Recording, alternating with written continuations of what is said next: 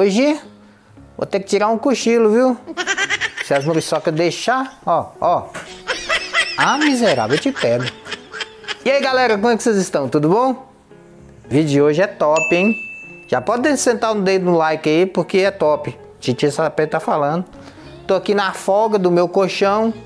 Esse colchão tem mais ou menos um ano e meio que eu comprei, tá? Tá muito bom, top. E eu queria passar aqui para falar com vocês como é que o colchão está depois de um ano e meio, tá? Vou responder as perguntas de vocês. Algumas coisas eu não entendi, outras coisas eu vou comentar. E é assim, tá? Se passar uma muriçoca aí na lente, não esquenta não. Essas bichas me perseguem, tá bom?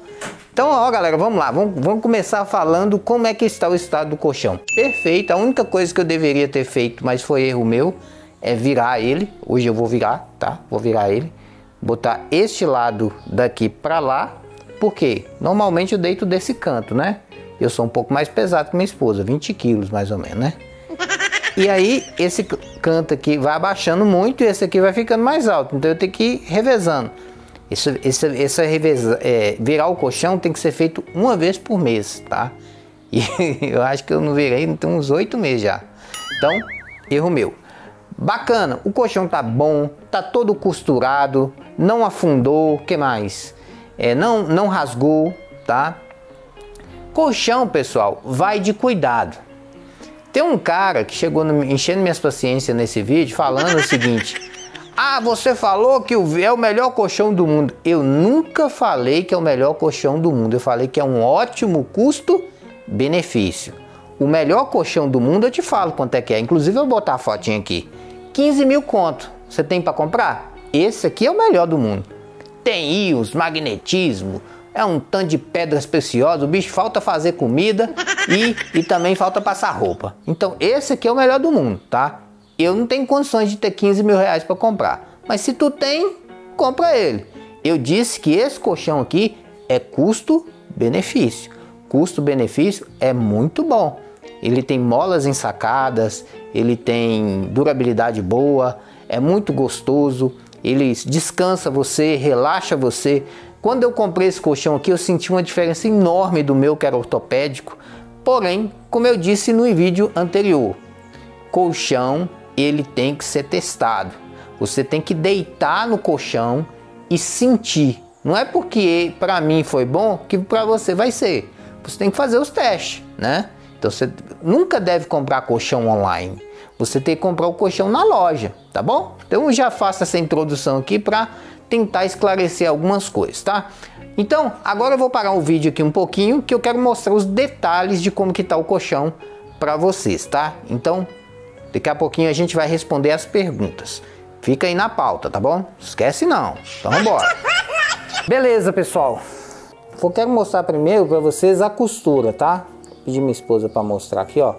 A costura continua impecável, ele não rasgou, tá? todas as duas costuras tá excepcional tá muito bacana. De todos os lados eu vou tentar pegar aqui a câmera para mostrar para vocês. Ele não tem nenhum rasgado tá? Tá? Ok de todos os lados tá bom?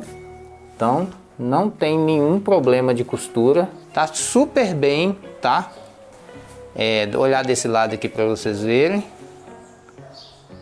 ó tá muito bacana. A costura bem feita, ó, tá?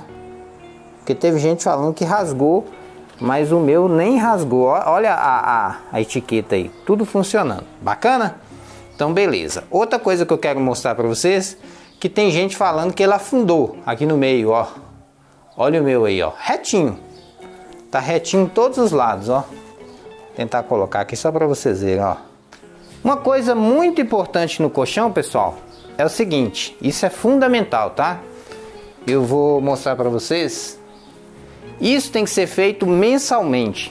Se você observar esse lado aqui, ó, ele está um pouco mais baixo do que esse. Por quê? Porque como eu sou pesado e eu estou há oito meses ali, ó, tá? Última vez que eu virei esse colchão tem oito meses.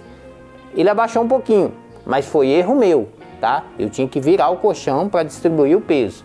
tá? E ele é tão bom que mesmo eu deitado oito meses ali, ele ainda continua estável o colchão, ele está harmonioso, tá? Então, toda vez que você tiver um colchão, seja lá qual for, ortopédico, de mola, principalmente de mola, você tem que fazer isso aqui, ó. Ele é bem pesado, tá, pessoal? Bem pesado mesmo. Ele é pesadinho. Você tem que virar ele assim, ó. Pronto, tá bacana. Agora esse lado aqui vai ficar mais baixo, tá? E vai compensar. Virar o colchão tem que ser uma coisa que você faz mensalmente, tá, pessoal? Muito importante, principalmente colchão de mola. Tá? Vou pedir minha esposa para voltar a me filmar aqui agora. Isso. Aqui, ó. Presta atenção que eu vou falar. Colchão, ele não, o ideal de colchão é um colchão de um lado só. Aqueles colchão que você vira, não presta não, tá? Por que que eu te falo isso? Porque já é tão difícil fazer um colchão de um lado que funciona. Imagina fazer um colchão que tem dois lados. Você, dá para entender isso que eu tô falando? É muito difícil você fazer um colchão que tem um lado bom. Aí você faz dois lados bom, não vai nessa não, não confia não. Colchão ele precisa de um lado só que funciona, tá? E ele, ele tem mola ensacada. Cada mola dele é ensacada em, em, um, em um tecido de forma que ela é individual, ou seja, não é aquele colchão que quando você senta, tipo assim, ele te joga para lá, te joga para cá. Ele não faz isso, tá? As molas são ensacadas individualmente. Ele abaixa e sobe, só faz esse movimento aqui, ó, tá? Tá funcionando bem, tudo certo. Tem um ano e quase um ano e meio que eu tenho ele, mais ou menos, e tá show de bola. Não tenho nada a questionar. Agora eu vou responder todas as perguntas de vocês desse colchão. Então fica comigo aí. Bom, vamos agora responder as perguntas de vocês, tá? Sabe o que, que eu vejo nas pessoas? As pessoas não sabem cuidar das coisas, infelizmente. Então, eu vi muita pessoa reclamando aí do colchão, mas eu tenho certeza que não cuidou direito, tá? Me desculpa, mas a verdade é essa, porque eu conheço pessoas que fazem a mesma coisa, tá? Eu tenho gente, amigos na cidade que tem colchão, ele compra em seis meses, o colchão fica todo esculachado. Aí a gente vai ver a, o hábito de vida da pessoa é extrema, extremamente extravagante. A pessoa pula em cima do colchão, a pessoa bota o cachorro em cima do colchão, a pessoa bota o gato em cima do colchão. Aí não há colchão que aguenta, meu querido, tá? Colchão não é eterno, tá bom? E é um colchão custo-benefício, tá legal? Vamos lá, primeira pergunta. Eu estou procurando um colchão de casal que seja de molas boas, que tem aquele pilão, pillow, né? Pillow bem fofo que não faça barulho nas molas. Qual você recomenda? Esse colchão aqui é excelente. Ó, ele não faz barulho nas molas. O barulho que você ouve é da cama. Ele não tem barulho nenhum, tá? Você pode é, virar e tal, ele não faz barulho. O único barulho que eu, eu tenho é da cama. Se eu pegar ele e pôr no chão, sem barulho nenhum, tá bom? Ele é híbrido, uma mistura de mola com espuma? Então, ele é de mola e tem em cima dele uma camada de madeira, se eu não me engano, em cima tem outra camada de espuma e outra camada de espuma. Então é bem reforçado mesmo. Só que é de um lado só. Ele não pode virar para o lado de baixo, não, tá bom? Colchão Pelmex. Queridão, me ajuda aí. Eu tô fazendo a, o vídeo do Revolution. Eu não testei esse outro, não. Eu sou uma pessoa caseira. Eu tô fazendo um vídeo de casa, né? Eu não sou vendedor de colchão. Infelizmente não vou poder te responder. Você tem um pillow top? Eu não sei o que é pillow. Eu sei que ele tem uma maciez boa, uma, uma inclinação bacana, nas suas costas não enverga e suas costas ficam bem acomodadas no colchão, tá? Então, muito interessante. O que me fala do colchão Lausanne de molas da Castor? Então, já ouvi parece interessante, porém não posso te dizer o que, que esse colchão faz ou deixa de fazer porque eu testei o Revolution, tá bom? Tem um que falou que vai na loja e testa, lá é tudo perfeito e bom, quando chega com um ano vira uma canoa. Então, como eu disse para você, antes de comprar o colchão, você tem que medir várias coisas. Primeiro, tem gente que é muito gordinho, tá? E essas pessoas precisam de colchões especiais. E esses colchões especiais são caros, tá? E quando a pessoa vai lá e vê o preço, ela prefere um colchão mais simples. E quando você compra um colchão simples, o colchão tem um peso que ele suporta de limite. A pessoa afunda demais, tá? E com o tempo ele estraga mesmo, não há o que se fazer. Você vai comprar o colchão? Infelizmente, você tem que olhar a, massa, a densidade sua. Lembra? No primeiro vídeo eu falei sobre densidade, tá? O peso você tem que calcular antes de comprar o colchão. Não há o que fazer. Se você pesa muito, o colchão ele tem que ter uma densidade maior, tá bom? Tem que tá dormindo, dorme de noite, o corpo mais quebrado. Então, eu tinha esse problema, né? eu não conseguia dormir direito, né? Meu corpo ficava bem cansado. Qual que era o problema? O problema é que o colchão ele passou da validade. Eu tinha um colchão ortopédico que tinha 25 anos. Ele já, já era, não serve para nada, tá? O colchão ele tem uma validade. Nós somos nós brasileiros não temos tanta condição assim de trocar colchão e a gente demora muito tempo para trocar, tá? Então o Revolution eu acho que ele vai durar de 10 a 15 anos se eu souber cuidar. Então, cuidando bem, você terá um colchão por muito tempo. Nunca comprei um colchão de molas por medo do barulho que eles fazem com o tempo. É, gente, alguém teve um problema com barulho? Então, amigão, é o seguinte: antigamente os colchões tinham barulho. Por quê? Porque a mola vinha embaixo da madeira, né? Aí o que, que acontece? A madeira batia na mola, enferrujava e também né, endurecia, e essa madeira junto com a mola fazia muito barulho. Esses colchões modernos, molas ensacadas, não tem esse tipo de problema, porque as molas são ensacadas individualmente, cada mola tem um saquinho, tá? E ele é amortecido por uma espuma muito bem feita, não tem barulho no colchão. O único barulho que tem nesse colchão é da cama, do colchão não tem nenhum, tá bom? relação do peso com o colchão? A densidade do colchão? Sim, tem uma relação direta. Você pesa muito. Você usa um colchão que não está preparado para você. Porque você olha, você pensou assim, vou comprar um colchão mais barato. E aí você pesa demais, o colchão afunda desnecessariamente, a mola não te suporta e ela vai vai quebrar, vai, vai, vai começar a cortar espuma vai danificar em pouco tempo. Você vai comprar um colchão, tem que medir o seu peso, né, do seu parceiro ou parceira, né, que ninguém sabe hoje em dia, e você tem que pesar para saber qual que é o colchão ideal para você. Uma que achou esse modelo ruim, que não recomendei, diz que quando ela deita, ela afunda. Então, precisamos saber qual que é seu peso, tá? Porque, como eu disse, colchão tem densidade. Você tem que comprar um colchão que serve para você. Vou dar um exemplo. Esse colchão aqui meu, eu calculei.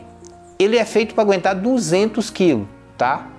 Eu peso mais ou menos 77, minha esposa pesa uns 55, 52, tá? Então vamos calcular aí mais ou menos. É 75 com 52 dá 120, vamos supor 130 ele, ele, ele aguenta 200. Então tá bom. Agora vem uma senhorinha que pesa 120. O marido dela pesa 150.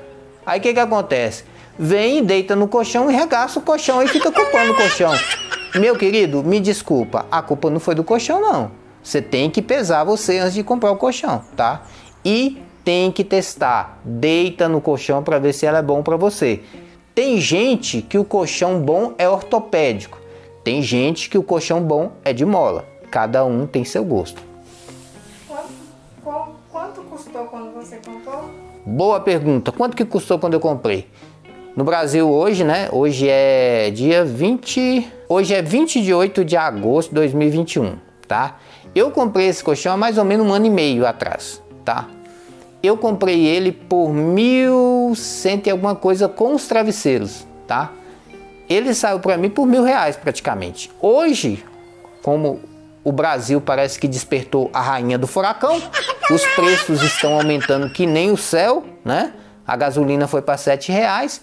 Eu acredito que ele aumentou o preço também, tá? Deve estar tá bem caro. Eu vou colocar o preço dele aí hoje embaixo aqui para vocês verem, tá? Então, eu comprei de mil reais, eu nem sei quanto é que tá hoje, cara. Que altura me sugere comprar? Isso varia muito. Varia do seu perfil, de como é sua coluna, de como você é, tem atividade. Então, colchão não é só o colchão. Você tem que também analisar a sua vida, né? Você pratica exercício físico? Você é muito sedentário? Como é que é você? Isso tem a ver com colchão também, tá? Então, pessoas mais gordinhas precisa de colchões maiores, tá? Mais é, espessos e com maior densidade para suportar o peso e não incomodar e também não rasgar tão frequentemente, tá bom? É, colchão Castor Molas Bonel Revolution é o mesmo que o seu? Então, as molas variam, tá? De acordo com densidade, de acordo com tipo e de acordo com a, o material, tá? Os colchões Revolution são colchões de, de forma geral acima da média, mas as, mo as molas deles podem variar. O que varia normalmente são as molas e a espuma, tá? Então cada modelo tem alguma coisinha diferente, não é igual não, tá bom?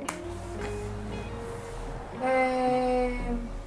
Eu pesquisei muito e muitos colchões com mola pops. É, eles são bons, ela tá falando que são bons, mas para solteiros, porque dependendo do peso da outra pessoa, ele pode afundar do outro lado. Exatamente, eu falei isso no início do vídeo, tá? É, existem casais hoje em dia que tem uma diferença de peso muito exagerado, né? Às vezes o cara é muito gordão, ele pesa 200 quilos e a mulher pesa 55. Vai dar uns pitizinhos. Porque imagina só, você tem 200 quilos de um lado aqui e o outro tá levantando, ó, né? Tem que ter uma questão de equilíbrio. Então, nesse caso de variações muito grandes, você tem que investir um pouco mais para poder ter uma densidade boa para não interferir. E uma outra coisa que é importantíssimo fazer é girar o colchão de mês em mês para que não fica descendo muito por um lado, tá bom? É outro que quer saber se ela, essa mola chama bonel. É, molas bonés, pocket bonel. Ah, tem um colchão desse e acho ele muito quente. Como refrescar o colchão? Exatamente, meu querido.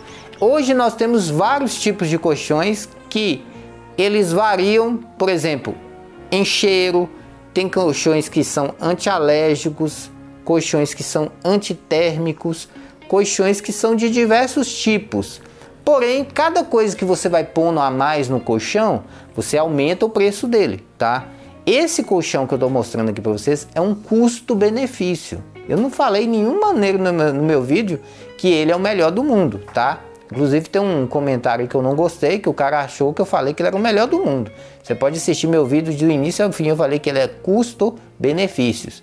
Um colchão top, top da custa 15, 20 mil reais. Aí sim você vai ter é, tecidos altamente é, adaptados ao corpo humano. Aí você vai ter uh, antifúngico, antibacteriano, anti-incêndio, os trem é violento tá? Ele tem pedras magnéticas, mas são colchões muito caros. Não é a realidade do brasileiro. Pelo menos para mim, eu não consigo comprar um colchão desse. Então é isso, pessoal.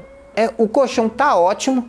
Eu vejo que colchão depende do cuidado da pessoa, tá? Então, infelizmente, o brasileiro tem essa mania de não ter cuidado com as coisas, né? Você vai comprar um colchão, você compra um colchão bom, meu querido. Pensa no seu peso. Olha a densidade sua. Se você pega um colchão de você, você pesa 200 quilos, sua esposa pesa 100, 300 quilos, você tem que ter um colchão de molas preparadas, né? Então você tem que ter um colchão muito caro, beirando 5 mil reais para você ter um colchão bom, tá? Agora não, você é um corpinho leve, igual eu e minha esposa, somos levinhos, tá? Então um colchão desse te atende muito bem. Os cuidados que você tem que ter de limpeza, de higiene, tá? Não é porque o colchão é durável que você vai sentar o cacete da escova e vai arrancar. Não é assim, tá? Agora mesmo eu fui virar o colchão, tinha uma lasca de pau na cama, eu não vi, quase cortou. Então, depende do cuidado de vocês também. Quem tem criança sabe o que eu estou falando? Criança pronta. Hoje em dia tem uns meninos que eu... dizem que menino é filho de Deus. Dizem que é. Mas Você sabe o que eu tô falando. O menino rasga, pega, corta, né? Então, o cuidado que você tem com o seu colchão é que faz durar. O meu tá com cara que vai durar uns 15. Será? Daqui 15 anos eu faço um vídeo para vocês, tá bom? Inscreva no canal, deixa o like. Valeu e fui, queridão!